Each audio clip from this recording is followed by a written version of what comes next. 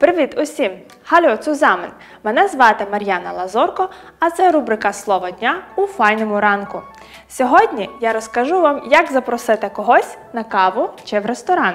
Поїхали! В житті німецькі дівчата стикаються з тими ж самими проблемами, що й українські нерішучістю хлопців.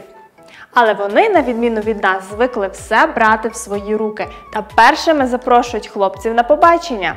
Дівчата, нам є чому повчитися. То як почати? Все просто.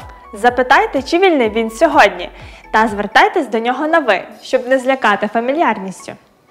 Sie heute frei? Ви сьогодні вільні? Якщо ж хлопець сказав так, конкретизуйте та запросіть його щось поїсти, адже всім відомо, що шлях до серця чоловіка лежить через його шлунок. Haben Sie Lust in ein Restaurant zu gehen? Хотіли б піти в ресторан? Скоріше за все, він відповість щось на зразок.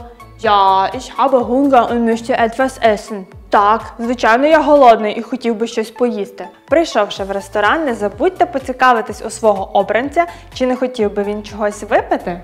Möchten Sie etwas trinken? Чи хотіли б ви чогось випити? Якщо ж ви снідаєте, то можете почути таку відповідь: Я, eine Tasse Kaffee bitte.